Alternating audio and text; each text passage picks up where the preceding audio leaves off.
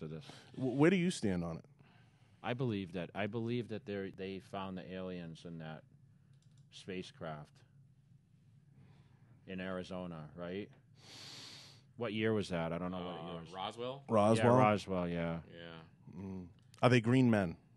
I don't know if they're green, but I heard from what my source told me that they were like My those little source. That those was li- like 47 though. those little um they would look like the big heads and Yeah. they were in a glass they were in a glass um I love like that you said thing. my source, Yeah. my inside guy.